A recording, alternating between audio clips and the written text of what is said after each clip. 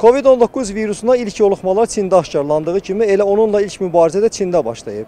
Pandemiya ilə mübarizədə ilk qələbəni Çin qazandı desək yanılmarıq. Hazırda insanların gündəlik həyatı kiçik istisnalar olmaqla tam bərpa olunub. Covid-19 infeksiyası ilk olaraq Çində ortaya çıxmasına və sürətlə yayılmasına baxmayaraq, hazırda ölkədə epidemik vəziyyət xeyli yaxşılaşıb. Artıq son bir neçə aydır bəzi epizodik yoluxmalar istisna olmaqla daxili yoluxmalar demək olar ki, qeydə alınmır. Yalnız xaricdən gələn sərnişinlərdə virus aşkarlanır.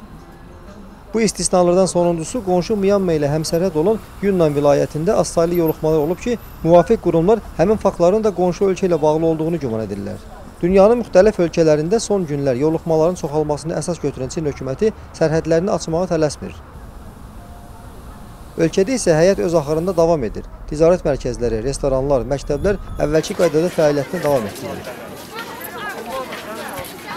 Covid-19 pandemiyası ümumi və fərdi sanitar gigiyena qaydalarına əməl etməyin vacibliyini bir daha üzə çıxardı.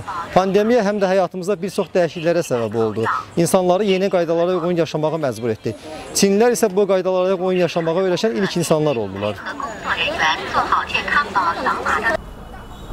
Əllərin tez-tez yuyulması və xüsusi maddələrlə dezinfeksiya olunması qapalı məkanlara girişdə QR kod vasitəsilə fərdin sağlamlıq vəziyyəti haqqında məlumatların öyrənilməsi və ən vacibi maska taxılması bu qaydalardandır. Çində açıq havada maska taxmaq məcburi olmasa da, artıq insanlar buna adət ediblər və ehtiyatı yenə də əldən vermirlər. Başqa sözlə desək, maska artıq gündəlik geyim aksesuarına çevrilib. Maska taxmaq və əlləri dezinfeksiya etmək virusun yayılmasının qarşısının alınmasında böyük rol oynayır. Mən özüm maskasız heç yerə, hətta açıq havaya da çıxmıram. Covid-19 aradan qalxmayana qədər fərdi qoruyucu tədbirləri davam etdirmək lazımdır.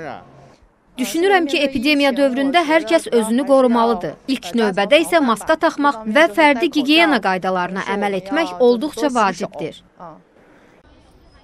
Çində paralel olaraq əhalinin COVID-19 infeksiyasına qarşı vaksinasiyası davam edir. Ötən ilin dekabrında başlayan vaksinasiya çərçivəsində indiyədək əhaliyə 180 milyon doza peyvənd vurulub. Çin əhaliyə vurulan peyvənd dozasının miqdarına görə Amerika Birləşmiş Ştatlarından sonra ikincidir. Ölkənin səlahiyyətli qurumları iyun ayınadək əhalinin 40%-ni, gələn ilin əvvəlinədək isə 70-80%-ni koronavirus əleyhinə peyvəndləməyi hədəfləyib. Vaksinasiyada yerli Sinopharm və Sinovac şirkətlərinin istehsalı olan 3 inaktiv vaksindən istifadə olunur. May ayında bu siyahıya Continua şirkətinin rekombinant adenovirus peyvəndi də əlavə olunacaq.